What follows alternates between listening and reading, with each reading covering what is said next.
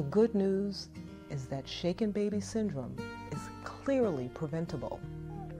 When your baby cries, check to see if she is hungry, wet, tired, too warm, or cold.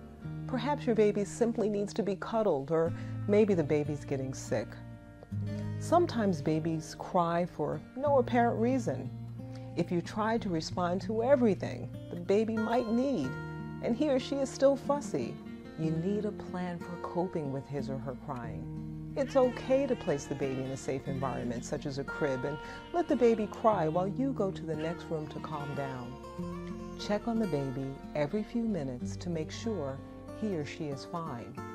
You can call a friend or a relative to either share your frustrations or arrange for that person to come and relieve you for an hour or two.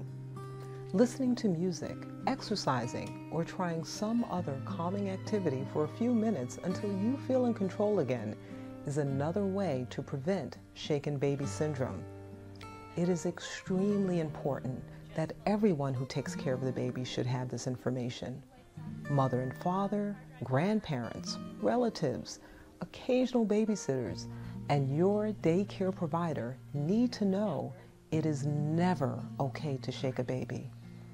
Share strategies for staying calm if the baby becomes fussy and be sure to let them know if things are becoming tense that it is okay to call you to come and relieve them of their responsibility if they feel overwhelmed.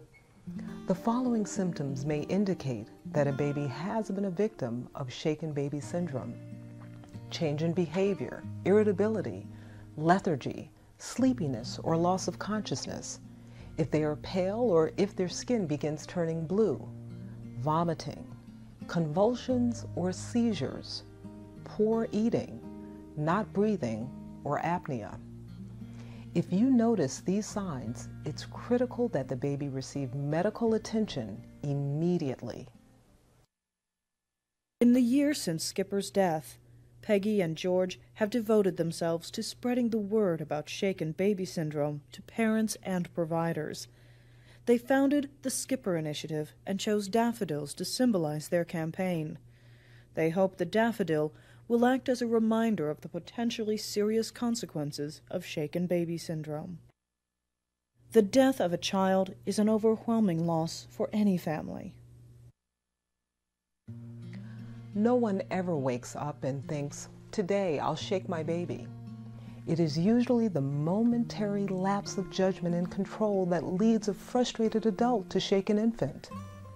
Plan ahead for what you will do when your baby is fussy and make sure you plan with everyone who'll care for your precious little one. A few minutes sharing these simple suggestions for keeping calm could prevent a lifetime of tragedy and heartbreak.